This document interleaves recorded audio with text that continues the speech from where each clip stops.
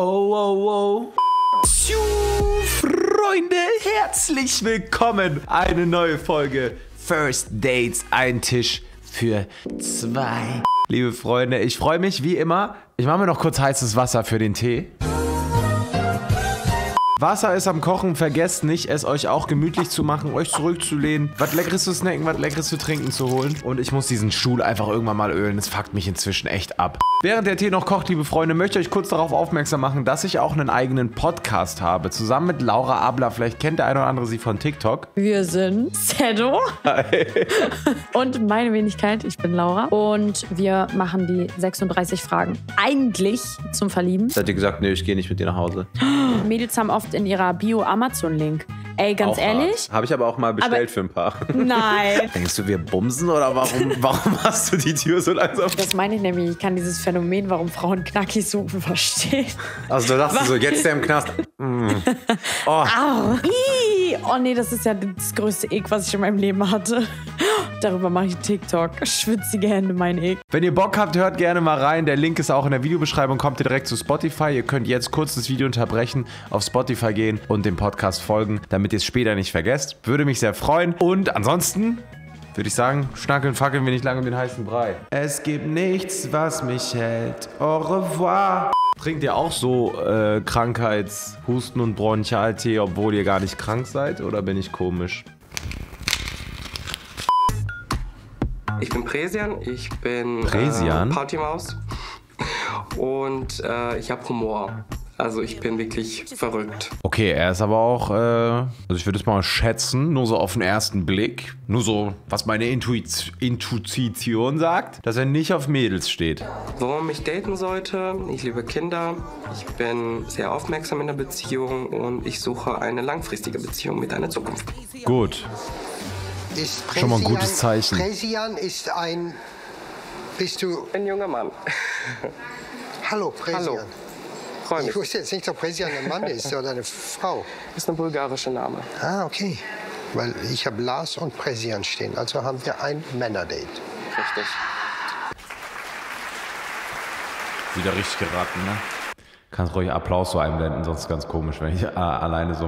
Du, Bulgare? Ich bin gebürtiger Bulgare, richtig. Okay. Und 2015 bin ich nach Deutschland gekommen mit meiner Familie. Und dann hast du erst begonnen, Deutsch zu lernen, vor Ja. acht Jahren. Ja. Das nervt echt. Der spricht. Roland, der spricht tausendmal besseres Deutsch als du. Hier, glaubst du, Und, das höre ich nicht, du Arsch. Wie kann das denn sein? Doch.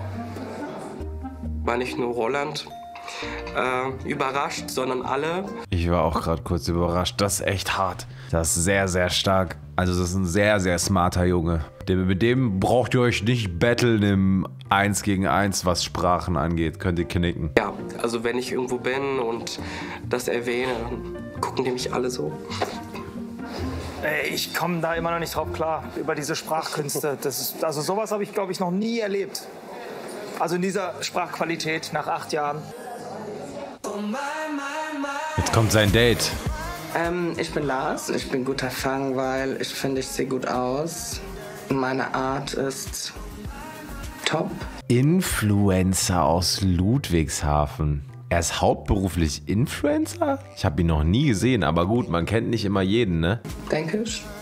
Ja, ähm, ja, mit mir kann man einfach viel Spaß haben und ähm, ich suche eigentlich jetzt nicht jemanden, der mit mir jetzt in den Club geht oder feiern geht. Ich meine, dazu sind meine Freunde da. Ähm, wenn ich einen Partner finde, ähm, dann kann er auch gerne mitkommen, das ist gar kein Problem.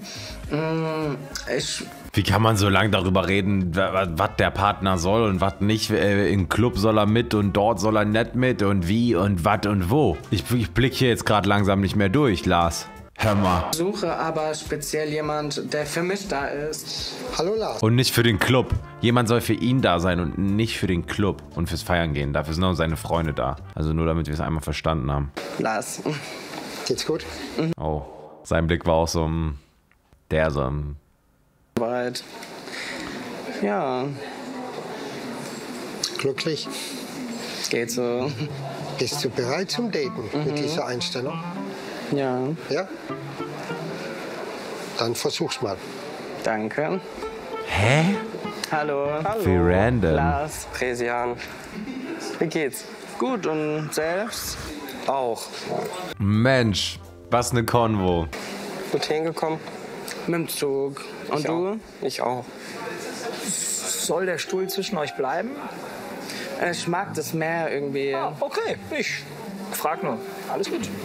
Was darf es für dich zu trinken sein? Habt ihr den Blick gerade gesehen? Den Blick von dem Linken? Dennis blendet den euch nochmal ein. Ah, Guckt euch das nochmal an. Zu trinken sein. Hoch.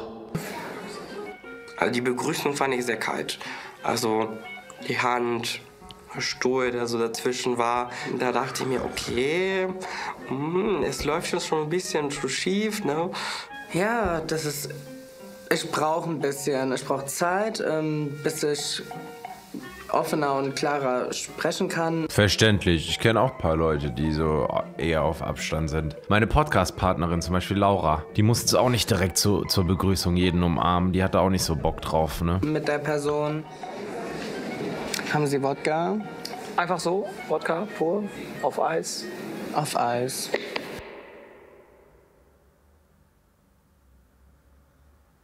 Dabei? Ja. Machen wir Wodka auf Eis.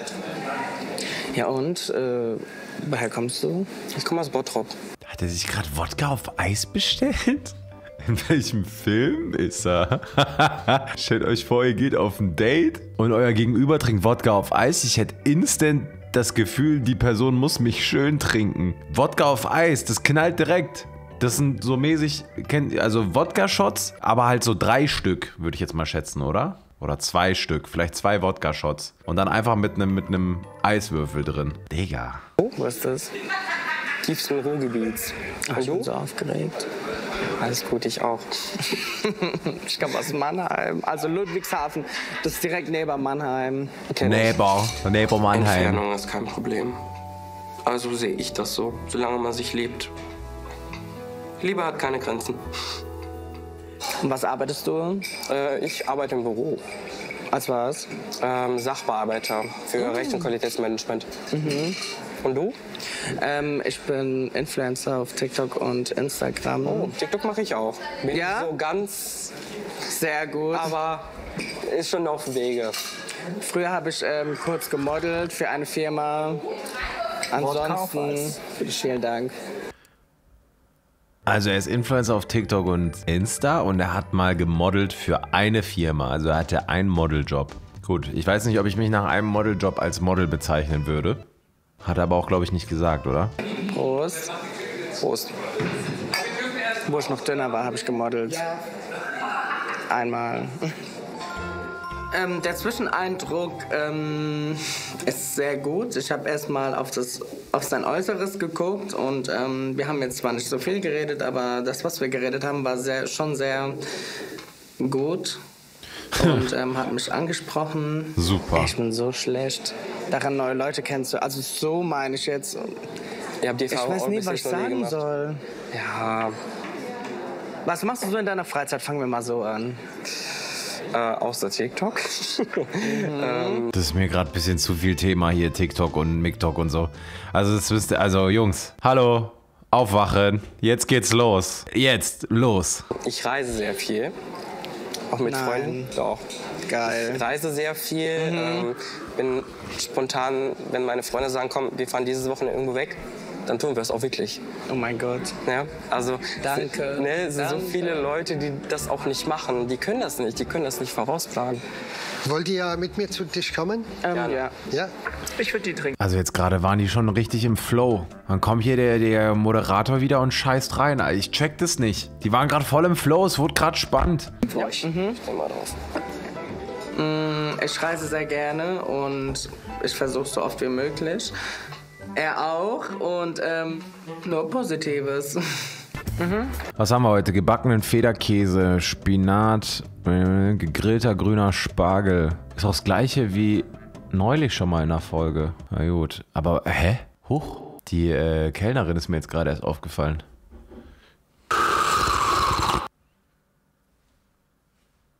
Huch. Danke. Was machst du denn so für TikToks? Verschiedliche Lip Sync. Verschiedliche? Ähm, Comedy.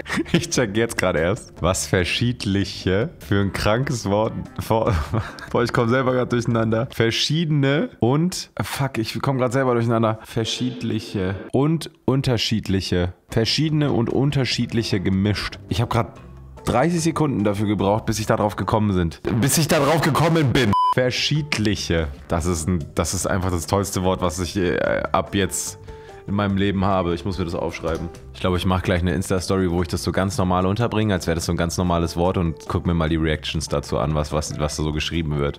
Über den Alltag. Also alles, was so momentan auf TikTok geht, die ganze Trends, dann machst du die auch. Meistens. Mach ich auch. Ja.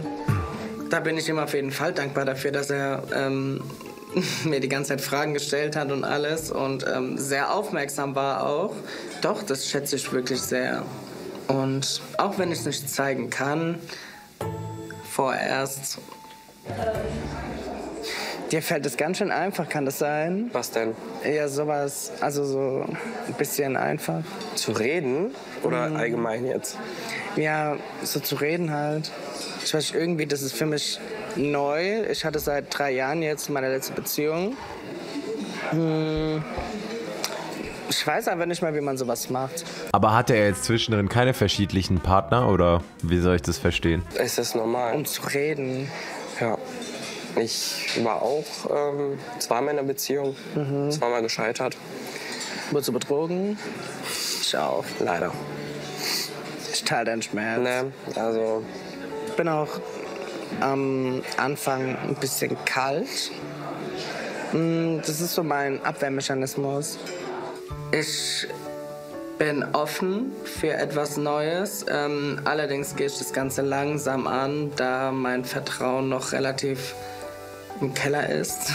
Oh, Maus. Kopf hoch. Neue Leute kann man neue Chancen geben, bin ich immer der Meinung. Natürlich darf man nicht zu naiv an die Sachen rangehen. Wenn du dreimal hintereinander vom gleichen Typ Mensch verarscht wurdest, dann solltest du dich wachrütteln, logischerweise, aber Ich, ich kann mir denken, dass du wirklich gut mit Kindern kannst. ich passe sehr auf für meine Geschwister auf. Also schon ein Zeichen, dass ich mit Kindern umgehen kann. Weil du kommst so richtig lieb und nett rüber, weißt du? Danke. richtig so lieb. der ist irgendwie süß, wie der, wie der immer grinst so. Danke. Lächelt er so. Er ist irgendwie knuffig. Einfach lieb. Das ist meine andere Seite nicht kennengelernt, weißt du? Familie ist für mich auch sehr wichtig. Bei ihm genauso. Da war auch so ein Punkt, wo ich mir dachte, okay, ja, super. Er mag auch Kinder. Das ist auch so ein Thema, wo ich äh, denke, okay, hm, krass. Also du magst Kinder, ich auch. Wartet ihr aufs Essen? Oh, ich glaube, ich muss hier mal in die Redaktion schreiben, wegen First Dates. Oh, da sieht, sieht sie nur so cute aus, weil ich muss mir das nochmal genauer anschauen, liebe Freunde. Ja. Ich glaube, das Warten äh, hat gleich ein Ende. Alles klar, danke. Wann hat mein Warten ein Ende, ist die Frage. Ja, ich bin gespannt. Normalerweise laufe ich auch nicht so rum. Also mit dem Hemd, das ist jetzt so einfach. Ich hab gedacht, es passt dazu. Was trägst du denn so für Klamotten in Freizeit? Pullover. Hm, Ich trage auch gerne Hemden. Nicht so welche. Fand ich ein bisschen zu bunt. Ansonsten war es okay. So, jetzt kommen wir bei Frage Haustiere. Was magst du denn für Haustiere? Hunde, Pferde. Hm. Das war's. Keine Katzen? Bist du nicht so der Nein. Katzenmensch? Ich hasse Katzen. Ich war erstmal geschockt. Der mag keine Katzen. Ne? Warum? Die sind so, die sehen süß aus. Aber die sind so richtig gefährlich. Die sehen süß aus, aber die sind so richtig gefährlich. Also, da kommt. Sorry. Kennt ihr, ist ja klar, diese Katzen, die sind frech. Die machen ab und zu diesen. Also je nachdem, welche Katze, ne? Es gibt auch Katzen, so Katzen von alten Omas, die können nichts tun. Du kannst die 10 Meter schmeißen, die würden dich nicht kratzen oder so. Das wäre denen egal. Aber äh, ich weiß schon, was er checkt mit. Hm, du hast Angst vor Katzen. Hm. Warum hat man Angst vor Katzen? Ich hatte schon mal früher, äh, als ich noch klein war, alles Mögliche gehabt. Papageien, Fische, Hunde, Katzen. Ich habe kaum Katzen in echt gesehen. Echt?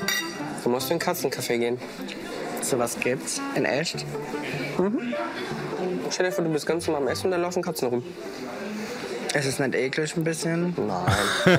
Ja. Ist es nicht eklig? Also eine Katze, während du isst, also.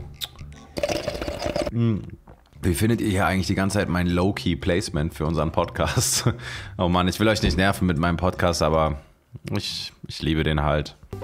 Das ist schon ein Streitthema, muss ich sagen. Direkt Streitthema. Oha, chill, Bruder. Ich bin jetzt mal sehr, sehr gespannt, wer hier das Ding zahlt, Alter. Sehr, sehr gespannt. Darüber nachdenke, hätte ich mir eigentlich gewünscht, dass ich von Anfang an mehr offener gewesen wäre. War ja auch zu mir. Ja. So. Rechnung. Ähm, Ich würde sagen, beim ersten Treffen, man teilt sich das. So sehe ich das. okay. Okay, heißt man ist nicht zwingend damit einverstanden. Ich fand mein Date sehr gut. Essen war auch sehr lecker und ähm, äußerlich passt es auch. Also Er hätte ein bisschen mehr Fragen stellen können oder irgendwie mehr Interesse gezeigt. Dass er so ein bisschen Interesse hat, sich mit mir zu unterhalten. Wollen die sich nochmal sehen, ist die Frage. ich fand's gut. So. Gute Zeit. Ciao. Ciao, ciao. Tschüss. Tschüss. Da seid ihr ja schon wieder. Euer Fazit? Ich fand es sehr gut. Wir hatten viel Gesprächsstoff. Ähm, hätte vielleicht ein bisschen mehr sein können von meiner Seite. Ja, bin auch der Meinung, du bist ein bisschen äh, kalt gewesen. Auch mit dem Stuhl am Anfang äh, war so okay. Oha, er ist wenigstens ehrlich, ne? Also wenigstens sagt er es. Das ist schon mal stark, dass er diese, die, die Ehrlichkeit hat. Normalerweise bin ich so. Es, ich tau auf. Gibt's ein zweites Date? Ähm, ich würde mich auf jeden Fall freuen. Ähm, es gibt noch viel Gesprächsstoff. Ja, ich finde es genauso. Wir können äh, im Kontakt bleiben. Nur in dem Moment sehe ich das eher so freundschaftsmäßig. Okay. In dem Moment würde ich ja sagen.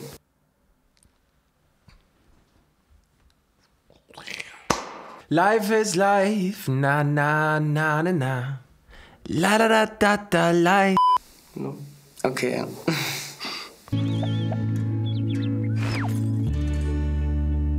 Ich habe Hunger. Nein. Ah, ach so, ja. Kommt. Einmal noch mal alles zusammen. Oh, ich will da auch anfangen. Leute, ich will da auch anfangen zu arbeiten. Darf ich einmal aushelfen, Kellnern? Nur einmal aushelfen. Ich komm. Komm hier. Das ist jetzt irgendwie eine weirde Situation. Warum umarmen die alle hier meine Frau? Was ist das denn? Also, Entschuldigung. Pff.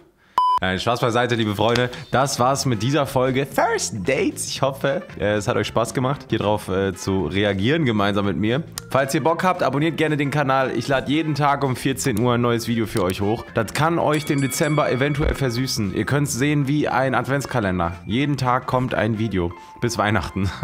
Und äh, ja, ich würde mich freuen, wenn ihr Teil des Ganzen seid. Und ihr könnt meinen Hauptkanal unbedingt mal abchecken, denn da kommt jeden Sonntag ein Blind Dating Video, in dem ich moderiere, während andere fremde Leute blind daten.